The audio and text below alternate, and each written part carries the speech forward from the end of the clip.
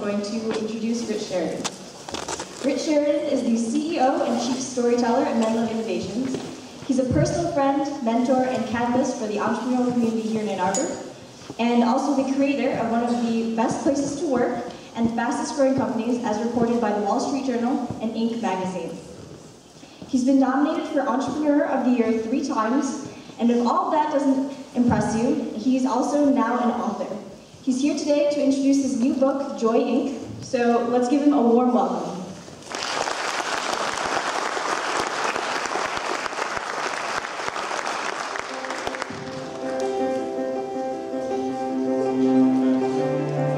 Most organizations don't really spend much time thinking about their culture. Most organizations operate in chaos. Everyone wants to work on something that's bigger than themselves.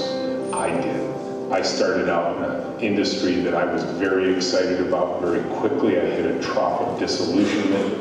And by 1997, when I was promoted to vice president of product development, I wanted out. I wanted to get as far away from this industry as I could. And then in that moment, I decided to change the industry. And that's the story that I've captured. People are coming from all over the planet to come visit this space that's in the basement of a parking structure in downtown Ann Arbor, Michigan. And they're coming for a reason. They're coming to see something. What most people are looking for is some lessons around what it takes to build an intentionally joyful culture. Imagine half of my team had joy and the other half didn't. Which half would you want working on your project? We had so many requests for these tours, we realized it was time to share this story with the world in a different way. And that's how the book came to be. The space is flexible. We work two to a computer. We assign these pairs. We switch them every five working days. The human energy that results from this kind of organization, you can actually feel the joy when you're in the room. My name is Richard Sheridan, and I'm the author of Joy Inc.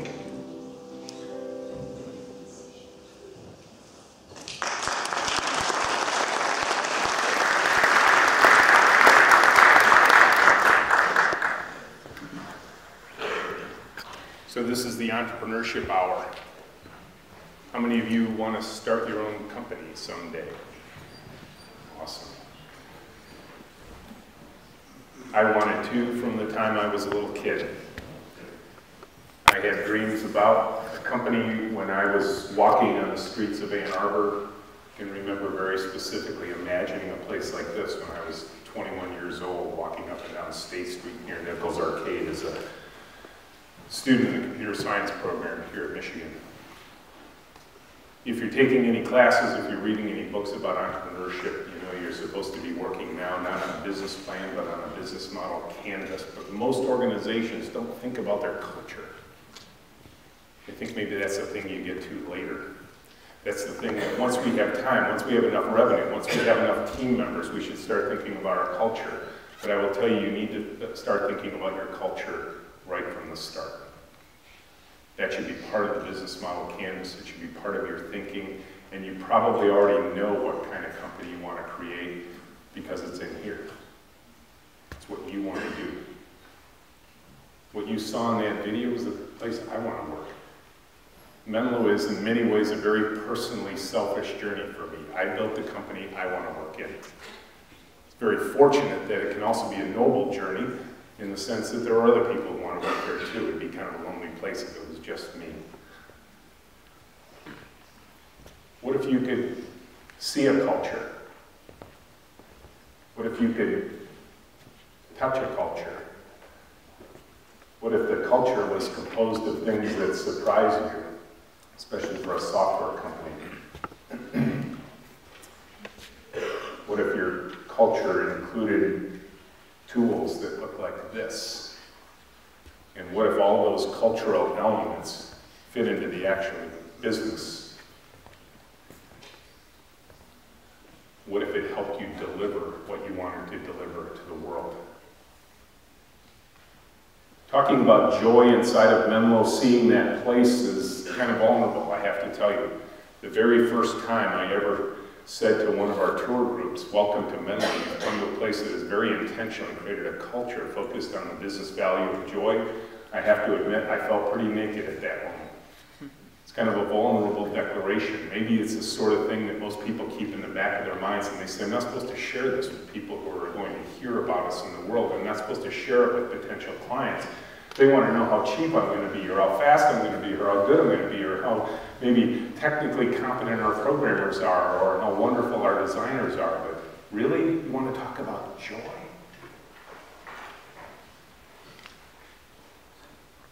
And so much like I did in the video, I asked the first tour group, I said, well, pretend half of that team has joy and the other half doesn't. Which half do you want working on your project? And of course they said they want the joyful half of my team. And I said, why? Why does it matter? Why do you care? What difference would it make?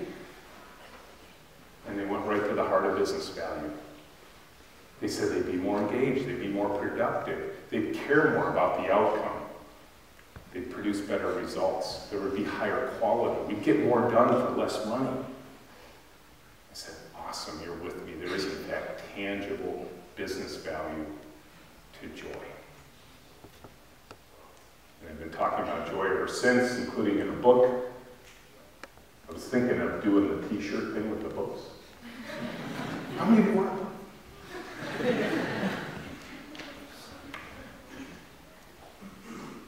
But understand for us that joy translates to the effect we want to have in the world, which goes back to the heart of what I wanted to do when I was that 21-year-old computer science student in Michigan back in 1978. Goes back a long ways. I wanted to deliver great, working, beautiful, usable software to the world. That for me is joyful to have somebody stop you on the sidewalk and say, Really?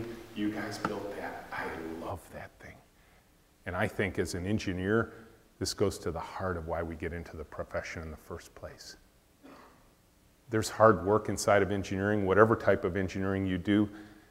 There's long efforts that produce hopefully great results, but one day you want people to look at the bridge, look at the building, look at the software, look at the car, and say, Really? You did that? I love that thing. That for us is the definition of joy. And we get that based on a cultural intention that we were very clear from right from the beginning. And now I think we're going to have David Thompson come out here and talk with me a little bit before we give you guys a chance to talk. Yeah, feel free to have a seat, Rich. It's great to have you here. I tried to do some research in preparation of our time together to see if, in fact, um, Vikings were more joyful. Are so, they? I, I am curious. No, I didn't find any have, data on it. I have no idea. It frightens me to death to do any research on Vikings. I feel better right now, I can tell you that. Uh, it's fun wearing a plastic Viking no, helmet, isn't but, it? But seriously, what is this about? Um, yeah, and my daughter, I think, is somewhere in the room and she does not want me putting on that Viking helmet if I'm being filmed. I put it on. Uh, I put it on. It's fine. Um, so uh, the Viking helmet is now an iconic symbol of Menlo. Uh, it actually made the centerfold of Inc. magazine. Imagine that. Uh, this little plastic $7 Viking helmet from ustoys.com. It has become the thing that has defined us, which is interesting because it has a very simple practical value for us. As you saw in the video, we work two to a computer. You may have remembered that there was a big circle of people standing around uh, the room at one point in the video, and that is our daily stand up meeting. That's where we report out. Um, quite frankly, and if you haven't been in the work world, this won't make as much sense as it will to you one day. We hate meetings. Anybody with me on that one? yeah. Um, and so we hold them standing up. We control them with a token. Because we work in pairs, having a two handled token is really convenient as the people report out because they hold each of the token handles like this as they report out what they're working on and where they need help and then it moves on to the next people and it goes around the circle and whoever has the Viking helmet is in control of the meeting. It's very democratic. Um, and uh, when it gets around to the last people in the circle, uh, they set it down, say, be careful out there, and we get back to work. And typically, this meeting lasts 13 minutes. And it can have 50 or 60 people in it. And I defy most companies, most organizations to begin a meeting of 60 people in 13 minutes, let alone call it, assemble it, start it, hold it, give everyone a chance to talk, get done, get back to work. 13 minutes. Uh, we think meetings are mind-numbing, spirit-sucking, energy-draining devices of management, so we pretty much eliminated them except for that. So, one. Rich, what do you really feel about meetings? That's what I want to know. You know? You know, and, and I used to run those meetings, and I knew that nobody wanted to be there because when I didn't show up for work, they wouldn't hold the meeting. And I realized, oh cr- crap, you know, I've created this thing that they only come because the boss is there, and I'm like, let's be done with that. There's no value to the people on the team. But, but say if I'm there and I, I want to hold a meeting with one or two of my colleagues, how do I pull that off? Yeah, so uh, we, we, um, we all sit out in a big open room. Uh, there are no cubes, offices, walls, or doors. That's inclusive of me. I just have a table out in the middle of the room. And when we communicate internally, even if it's casual, uh, we don't use electronics. We don't use email. Uh, we don't use texting. Uh, we use what we like to call high speed voice technology. It's awesome. Uh, hardware's built right in. Vocal cords, body language, eyebrows. Uh, and so if I want to have a meeting with David, I, no matter how far away you are, I just say, hey, David. And you say, hey, Hey, Rich. Yeah, exactly. Now we're in a meeting. Okay. And we don't have to move. Right. Uh, and I can actually, uh, I, I can teach you this methodology, okay? uh, here's what we're going to do. We're going to demonstrate an all-company meeting at Menlo. I'm going to say, hey, Menlo. You're going to say, hey, Rich. Okay, you with me? Hey, Menlo. Hey, Rich. Boom, it's just the way it is at Menlo. Everybody goes dead quiet, and we're in an all company meeting, nobody moved. Then we transact the business of the meeting. Maybe we want a new deal, uh, and we just, say, hey, we want a new deal, everybody cheers. Maybe a couple of questions get asked, and then I say, thank you very much, and the meeting's done, and everybody goes right back to work. Okay, but it's a little bit of an intrusion if I'm working on a project, right? I mean, how do you Sure, yeah. Uh, so, you know, people wonder, you know, isn't this like very interrupting? Uh, what's interesting is we all have the experiences that tell us it's actually not interruptive. And uh, you probably had this experience today. You were at a coffee shop this morning, you were working with one of your colleagues, uh, one of your co students on a project or getting ready for class, and you were heads down, you were in a conversation in that coffee shop, and there's all this noise going on around you. Um, and uh, um, and uh, you weren't paying attention to any of it. But what's interesting is if I say, hey, David, across a noisy room, your brain is programmed to hear that. You didn't hear anything else. If I said, hey, Jim, or hey, Bob, or hey, Bill, you didn't even hear it. Brain is an amazing filter. There's part of our brain called the reticular activator. It just throws that stuff away. I'd say that's true. Uh, okay, so th- that, I, I, accepting that's true, I'm in a big room full of people. Um, that might work for me because I'm an extrovert, but Sure. what about the introvert? I mean, a Yeah. lot of people, a lot of action, noise. Yeah, yeah, in fact, there's a lot of books written these days on the subject of introversion and how uh, we should actually put engineers in sensory deprivation chambers. Uh, let them put earbuds in their ears and silently click away on keyboards and uh, turn the lights down low. I actually get invited into a lot of these places and they walk me through this sea of darkened cubicles. And uh, we get to the corner office and the CIO closes the door and says, So before we get started, I want to talk about our communication challenges here. like, think? really? You think it's because nobody's talking to one another? No, we've installed all the latest electronic gadgetry to make sure they can communicate with one another. And the fact of the matter is that, um, uh, you know, and again, I'm not an expert at this stuff, but what I find is that I don't think Menlo would work unless it was filled with introverts. Because introverts, it's not that they don't want relationships with other people, they want fewer, deeper relationships. And because we work in pairs and we switch to pairs every five days, and we assign the pairs, uh, which relieves a lot of social anxiety about, you know, uh, the, the kids who went into Pick me, pick me. yeah, Yeah, right? well, or worse. Um, you know, I remember as a kid um, uh, being the I loved baseball, uh, but I was engineering mindset, so I was heading off in another non-athletic direction in my life, and so I was often the last kid picked. And there's nothing worse than always being the last kid picked for the baseball team. You just eventually stop showing up. And so we didn't want to have that ostracizing kind of effect at Menlo. So we assigned the pairs. And now we're in a relationship with one another for five working days. And So you assign it on a, what, Friday afternoon for Monday Yep. morning? Yeah, Monday morning, everybody knows. May- We might find out we're paired together. We work together for five days, and then the pairs switch. But what about the projects? I mean, the projects aren't all five-day projects. No, the projects aren't five-day projects. I'm going to just grab an artifact here sure. while we're talking. By the way, I'm seeing the, uh, the horns here on the book too, Rich. Just pointed that out. Yeah, exactly. Yeah, you, Penguin was not going to let it go that this iconic symbol would probably draw attention to it. Uh, this is how we do project planning here, Dave. Um, and the projects are actually smaller than five days. This is a two-day project, so 16 hours worth of work. This is a one-day De- project. Devil's advocate for a moment. You're a computer technology company, right? Yes, And this is paper. this is paper, exactly. What's the problem? So, yeah, so, so uh, uh, walk me through this a little bit, because this seems to be a joy sucker, not a joy. Uh, Yeah, it's messy, right? Uh, We are good recyclers. Okay. We, we really do well at that. Um, So in, uh, in our mission statement, uh, the part I don't necessarily always parade out because I'd rather be remembered for joy than for this other part of our mission statement. Our mission is to end human suffering in the world as it relates to technology. And there's plenty of it out there. How many of you use Wolverine Access? No comment. Yeah. Technological suffering at work, okay? you know. Uh, now, granted, the Wolverine Access, uh, you know, um, if it isn't easy to register for classes, I mean, how much, you know, how common is it that a student at the university would want to register for classes?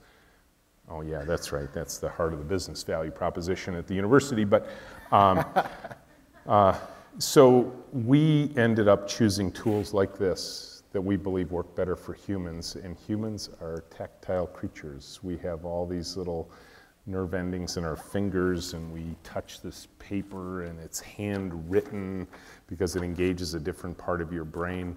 And people like to play puzzle games, and this is how we decide on But the, what's the going to project get is two and a half two and on. a half days. I'm still stuck there, so some are shorter than five. But You have no projects that are longer than five days. We have projects that have been going on for eight years. So how does it work? Yeah, we, we plan them five days at a time. Uh, we'll often plan well into the future. Uh, we don't only plan the next five days, but we, the next five days is very important to us because what people would really prefer in any work environment is to work in a, an environment of no ambiguity. And most of us operate in total ambiguity at work, right? You go to work and, you know, the boss, you know, you got some, the company's headed in a direction, the department has some goals, you have some function that you're doing, but you have no idea what you're supposed to do today, right now. These simple paper-based tools make it entirely clear what the, what the whole team is going to be working on the next five business days. Do clients like it? Most of them. Well, let's say the ones that uh, become Menlo clients like it. Uh, and, uh, you know, but they see the, the, look, there's not a project in the history of man that ever fit within the time and budget everyone wanted it to. I, I often joke that we were going to build five pyramids, but we only got three done. It was free labor, it was ubiquitous materials, but we still only got three out of five pyramids done. Uh, software projects are like this. Um, anybody hear of a government website that was having a little trouble lately? Um, kind of missed the deadline. You know, President of the United States had to come out and talk about glitches in software. I was like, oh my gosh, we're now at the point where the president has to tell us why my industry sucks. Um, and, uh, and so uh, this simple tool is really kind of cool because, again, I didn't bring over all my artifacts here. If the client wants us to work on this piece, it doesn't fit in the plan, so it can't go on the plan because it doesn't fit in the time and the budget, so it sits off to the side. It stays over here on the table, and it becomes entirely clear what did not fit in the plan and what did fit in the plan, and that's why we use these simple paper-based artifacts, so we know what's in, what's out, what's highest priority, what's second highest priority, maybe that comes in later. It's And you negotiate all these priorities on a routine basis. Absolutely. Every week, our clients come in and they're adjusting the plans based on what their highest priority things are simply by moving these little pieces of paper around. Do you guys have a general idea how this works? And just give me a few nods if you understand what we're doing here. You pick up these little folded pieces of paper and you put them on the inscribed box here.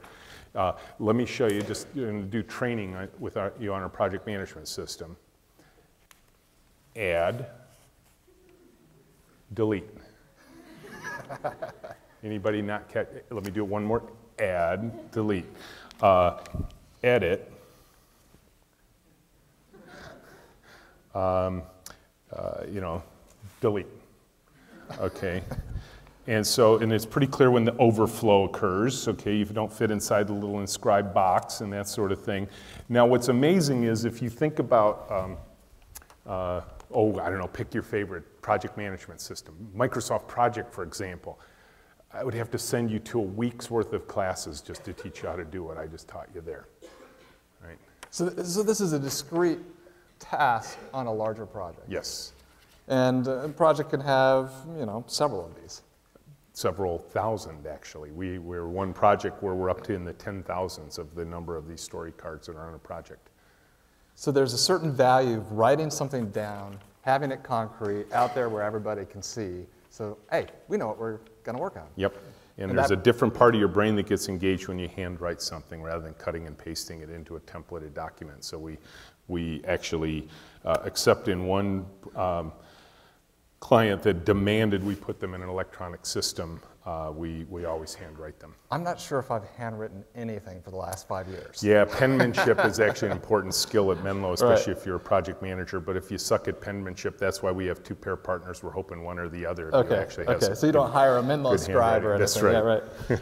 okay, cool. So, so I mean, this apparently, I, I'm not entirely sold that this j- brings joy or this, but, but apparently it's gained notice. I mean, this last year here in Ann Arbor, you're um, Business Person of the Year, I believe, and, and you've gotten all these different accolades. Menlo itself has become a clearinghouse for how do we do culture. I mean, people are basically beating the path to your door. We had So- 340 tours last year for over 2,500 people who came from every continent on the planet to come visit. Ann Arbor. in our, well, Menlo. the basement of a parking structure in Ann Arbor. Uh, and uh, in fact, we had so many visitors that the Ann Arbor Convention and Visitors Bureau named me Ambassador of the Year because we were bringing so many tourists to Ann Arbor who had to stay in hotel rooms and all this sort of thing. It was, it was the only time my name will ever appear on the bill at the, on the uh, scoreboard at Michigan Stadium. It was awesome. I got a picture of it on my phone if you want to see it later. Yes. so you do use technology. Uh, well, you know, that was, yes, I do. Yeah, I'm not, I, I, I'm a total gadget geek. There's no question about that. Uh, I'm not always perfectly good at learning how to use the gadgets. That's why I had children. So okay, so these guests walk in Menlo. What are, is the average guest sort of? Um, oh yeah, this this makes sense. I get it. And uh, or, or what's the response that you're getting? From I would say that uh, much like uh, you are demonstrating, there is often some healthy skepticism when they walk in the door. Uh, they, they look at two people on one computer and they want to know what's up with that. It's They only one keyboard, right? Yeah, exactly. And they're working on the same task at the same time, and they're thinking, well, why don't we just split these two and get twice as much done? And so we have to explain that. And then they ask very practical questions like, if these people were actually working on my project, do I have to pay for both of them? And of course, the answer is absolutely you do. So then they really want to know why we think there might be value to having two people working together at the same time. Uh, then we show them the paper-based planning.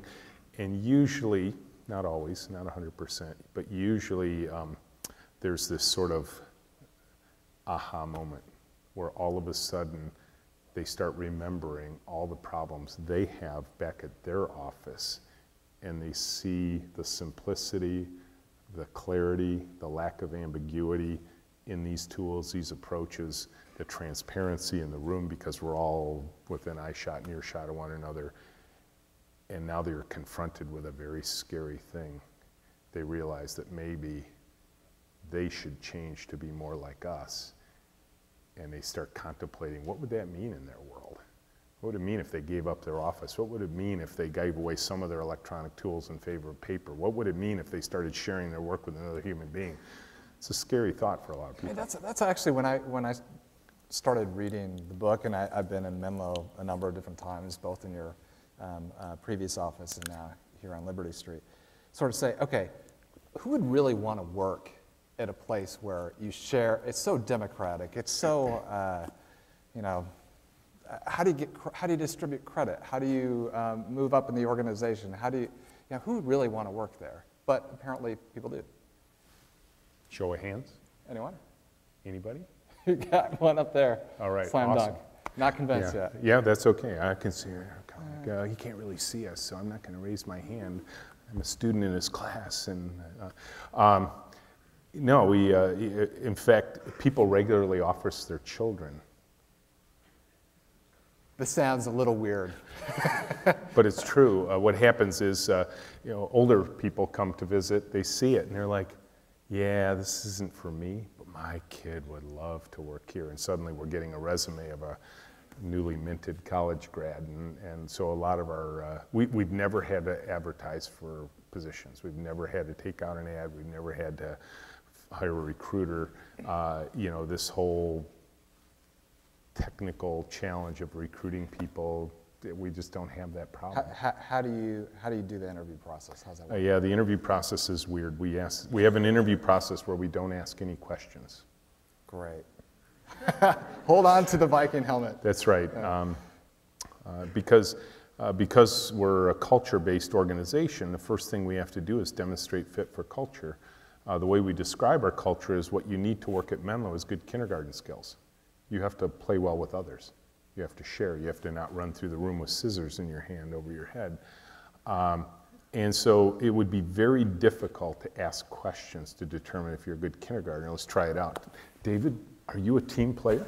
Oh, yeah, definitely. Oh, do you like people, David? Lo- Love people. Oh, Always have. Awesome. Wow. Hey, David, if you were day of the week, what day would you be? Oh, I would definitely be Monday because I like to get up and get going. I love it. I love Monday morning people, David. That's awesome. He's on the team, right? Of course, then he shows up, and we don't have a cube for him or an office or a computer. You know, it- uh, I mean, what what questions could I possibly ask you that would demonstrate a fit for our culture? So in our world, what we do is we bring a group of people in all at the same time. We pair them during the interview.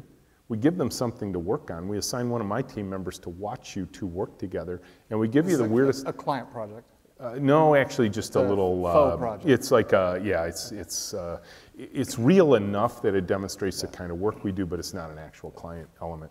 Uh, that actually comes in the second interview. Oh, uh, so the first interview is is uh, as you say a faux project, but. Um, uh, but for 20 minutes, you work with another human being. Now, we give you the weirdest instructions ever.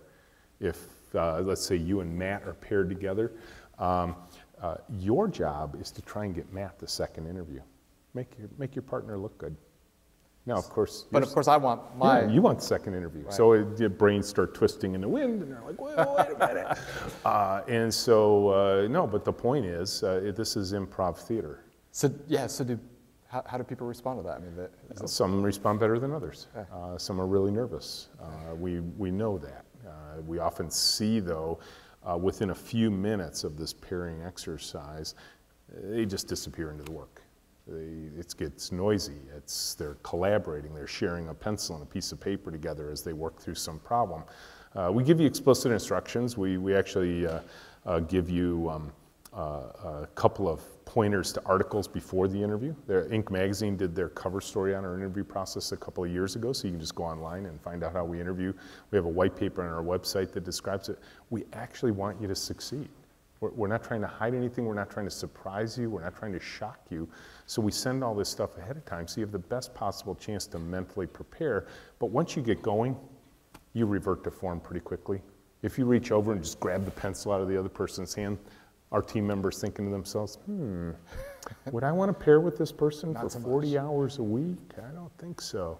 Uh, but if they see you supporting the other person, if, uh, if Matt's struggling and I watch and you help him out and then he responds, uh, you know, and you, you see Matt's nervous and you calm, down, calm him down by using a little bit of humor and then you get right back to work, uh, you know, we would, we would give you high marks. And then we do that 20 minute exercise three different times. You'd pair with three different people, three different observers, and we send you all home and we talk about what we saw.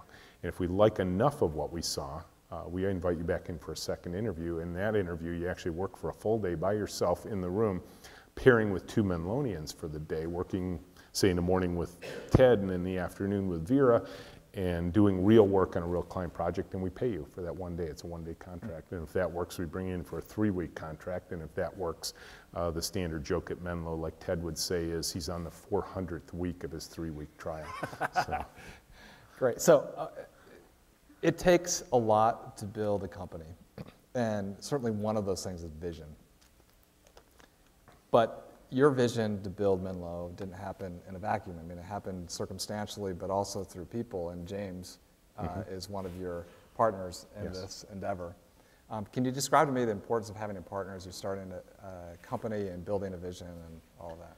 Yeah, I, I could not and I would not have, I, I could not have done it without James. I would not have done it without James, and I would not have been able to do it without James. Uh, he is, um, you know, we found each other about 14 years ago when I brought him in as a consultant to help me do some fairly simple things compared to Menlo at the time, but we quickly, you know, in a business sense, fell in love with each other. He was suggesting some crazy ideas, and every time he did it, I said yes. And he was a consultant, and he pulled me aside one day and he says, Rich, you don't understand how consulting works. He says, You have to say no at least once, because then if it, whatever I'm suggesting to you fails, I can go back and say, It's because you said no here, but if you say yes every time, you'll be able to hold me accountable for the results. And I think at that point, we both recognized uh, we'd found two people that were really special, because I was going to say yes every time, and sure, I was going to hold him accountable, but I was in the same canoe he was, and he knew it and uh, we, we actually transformed a 30-year-old tired public company to look like what you saw in the video. Uh, it was a company on the west side of Ann Arbor, and over the course of two years, took everyone out of their cubes and offices, transformed them into a place that looked just like Menlo.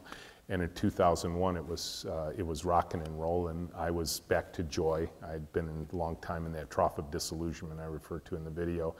Uh, and now I'm back to joy. And then in 2001, it was all taken away from me uh, when um, the internet bubble.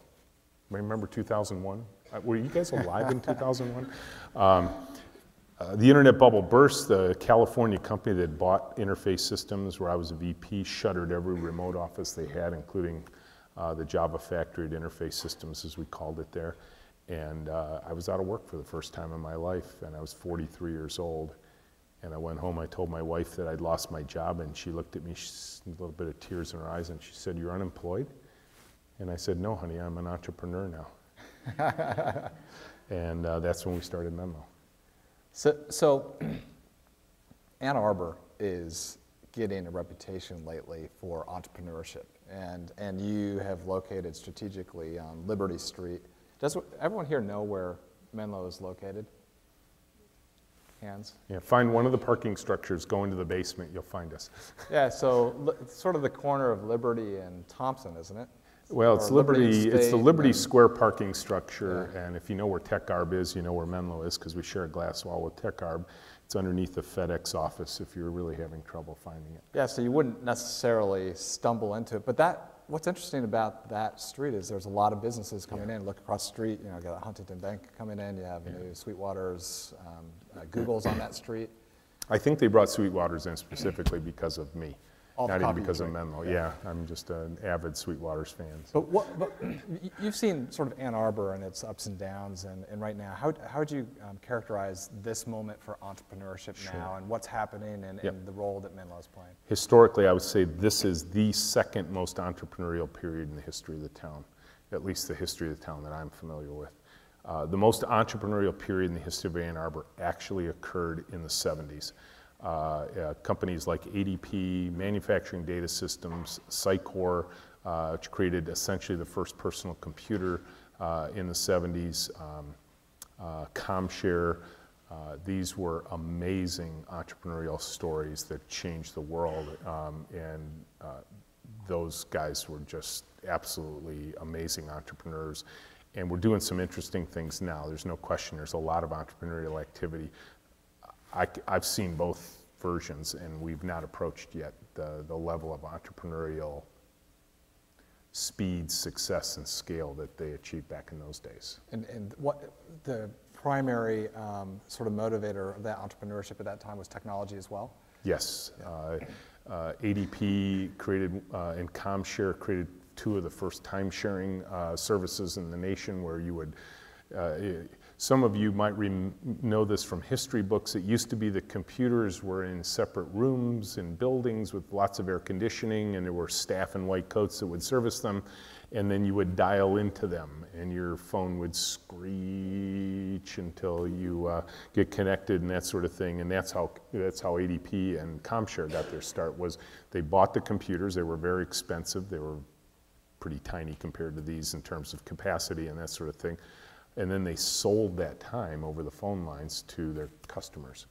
And uh, then there were companies like MDSI who uh, bought that time from ADP and did things with that time and sold the service to their clients. And MDSI was making a gazillion dollars. They didn't even know what to do with all the cash, so they just started building beautiful buildings up on Plymouth Road.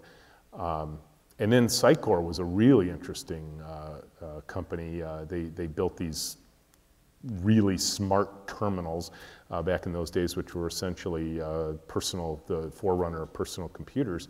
And the thing I remember most about Sycor, which I sort of confirmed that I had chosen the right career, was I'd go to football games on Saturdays, and I would sit in the stadium as a computer science student, uh, and there would be an airplane flying around the stadium with a banner in the back of it that simply said, Sycor needs programmers.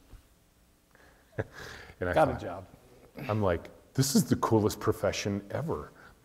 Right? They advertise for what I do on banners on, behind airplanes flying around football stadiums. I, I think I'm going to have a job after I graduate.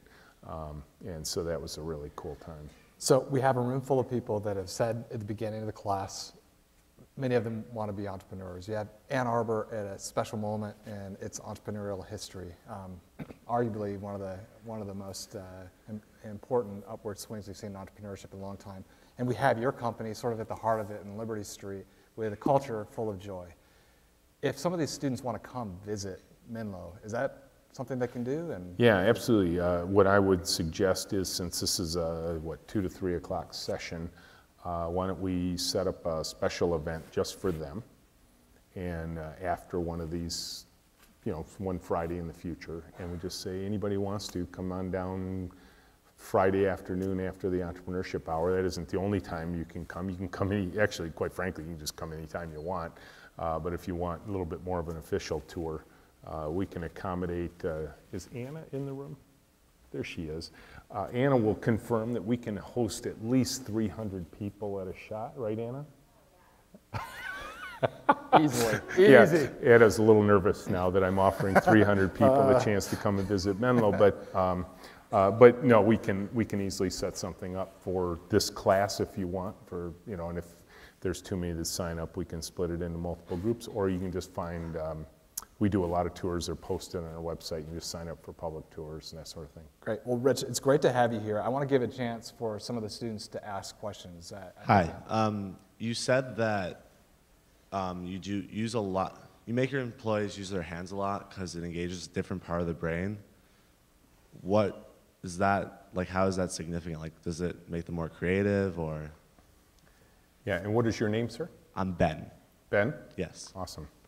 Um, so Ben, I, uh, I am not a, like a deep expert in cognitive psychology, uh, but there, uh, I think that given the number of uh, sort of uh, nerve endings you have in your fingers and you start writing on paper, for example, when we write these story cards, um, there's, there's something special that's going on. The, the amount of time it takes to write the words, how you think about the words, that sort of thing. The fact that we're using these paper-based tools and that we hand write the story cards, that I believe just engages a different part of the brain.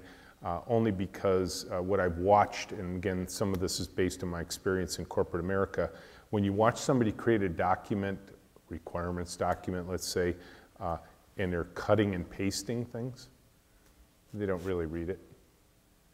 You know, uh, it's interesting how often I make this mistake constantly, um, uh, where um, uh, I write an email and I push send, and then somebody reminds me, "Oh, Rich, did you see what you wrote there?" Like, "Oh, yeah." Uh, it's just different part of your brain when you start handwriting. I don't know if that was was that your was that the essence of your question? Hi, I'm Luke. Um, Hi, so you mentioned for one of your projects or one of your clients, you have over 10,000 of those uh, story cards. Yes. It's an eight-year project. We've been working on it for 400 weeks, so. Okay. yeah. But um, how do you keep that organized? Like, do you have to filter through it by hand, uh, through like a giant file cabinet just full of the sheets of paper? Or Yeah, it's amazing how much, how little of a file drawer you actually need for 10,000 cards. I think it's just a few, about three drawers uh, for holding the cards. And um, the, the cards themselves are um, sort of a bit of processed potato chips for us. We do keep every one of them, we don't lose them. But they're not all active at the same time. The, the, the ones that are actually active, there, there might be a hundred. It's sort of a sliding window over time that a hundred or maybe 200 are active at any given time period that's of great interest to the current part of the project. The rest of them are historical artifacts that if we really needed to find them, we could go look. And I know a lot of people ask us about that, and they're like, well, do you put them in a database? Well, actually, we do have a spreadsheet that has the title of every card and the number of every card, so we could search the spreadsheet for that. Uh, but we've actually done some simulations with our clients.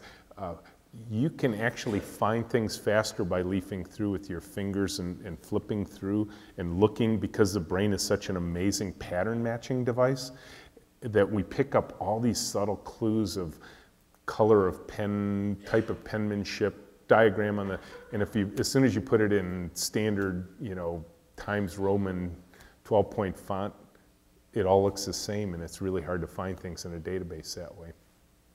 Um, do you ever think that the progressive culture in your company ever impacts the productivity and people might not take you as seriously as a boss and more as a friend? Sure. What is your name? I'm Katie. Katie.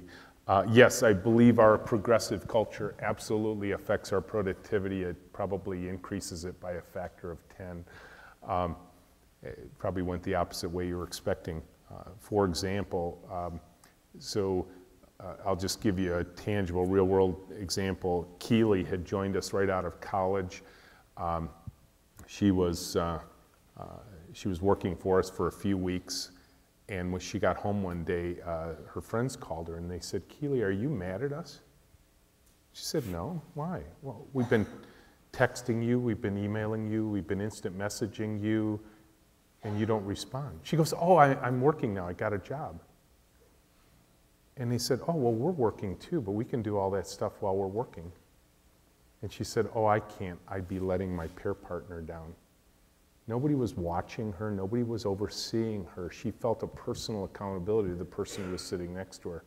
So, one of the things you see at Menlo is that it's very focused activity. Uh, it's actually, you go in, it's a noisy environment, but it's the noise of work. There's not much chit chat going on at Menlo. It's actually productive work. Now, one of the reasons we can do that is we only work eight hour days and we only work 40 hour weeks and we never work weekends and we never deny vacation requests, which is kind of crazy for a software company. Most software companies operate in death march mode. Well, if you operate in death march mode for too long, people started having to jam their personal lives in and around work, and that's when they start bringing all that non-productive stuff into the workplace. We don't have to do that. Anyone want to work at Menlo now? I like that. Yeah, there we go. All right. So, time for one more question. Got a question right here, and then we're going to close up uh, class. Hi, my name's Hi. William. Hi, William. As an entrepreneur, uh, one usually has to seek a group, partners like you did, um, and has to seek a patent. How does one go about doing that without having to worry about people stealing their ideas? Yeah. Um, so I think you'll get this kind of answer from a lot of people like me is that ideas, it's not that you just shouldn't protect them at all, but I would suggest to you that ideas are kind of a dime a dozen. You and I could sit here right now and come up with five world changing ideas before three o'clock. But if we don't execute on any of them, it doesn't matter. And if your idea stays stale, if it doesn't, if you have an idea and you share it in front of this room right now, and it doesn't change an ounce in, over the next year because you just weren't thinking about it, it probably wasn't a very good idea, anyways. The fact matter is that if you and I come together, you share your idea with me, you tell me all about it, uh, and then the next day you're already thinking up new things. You're taking it in a slightly new direction. You're pivoting into a new direction because you have conversations with people. I might have the same, I might take your idea and start running with it, but by the time I get done with it, I've taken it way over here, you've taken it way over there. So again, I, I don't want to minimize the, um, uh, the importance of patents and trade secrets and non-disclosure agreements and that sort of thing, but you will, you will move an idea along farther and more productively by sharing it with others than you will by keeping it all to yourself. Uh, you might remember, um, uh, what was the uh, Pirates of the Caribbean? Was that the one with Jack? And he had one silver bullet in his gun and he never fired it. Am I remembering the story right? It's close enough. Okay. My daughter's over there. She's like, yeah, well, I'll explain it to you later, Dad. Uh, and, uh, but the point is that ideas, a lot of ideas for entrepreneurs are like that silver bullet. They keep them tucked in their vest pocket and they never fire them. And literally, you could look over that entrepreneur's, you know, at their final resting place and see that there's this bulge in their pocket where they never fired their silver bullet. And it's kind of sad. So I would suggest that you're going to get greater benefit by sharing it with others because it'll make it better. So I'd like to invite all those students that ask questions to come up and pick up their copy of Rich's book for free. The rest of you, if you'd like to purchase one, they're available. Rich, thank you so much for uh, coming and for joining.